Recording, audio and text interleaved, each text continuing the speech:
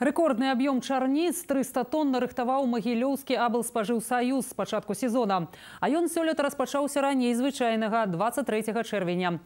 Лічбы на самой справе ўнушальныя, гавораць спецыялісты, бо летась сабралі толькі 25 тонн гэтых лясных ягад. На сёлетні ўраджай аб'ёмы паўплывала ў першую чаргу надвор'я. Ягады пайшлі раней. Зборшчыкі цяпер здаюць чарніцы, таму план абласнога спажыўсаюза нарыхтаваць паўтысячы тонн чарніц. 80% закупленых ягад замарозілі і накіравалі на экспарт у страны Еўросаюза, расказаў начальнік аддзела нарыхтовак аблспажыўсаюза Алексей Сіротін.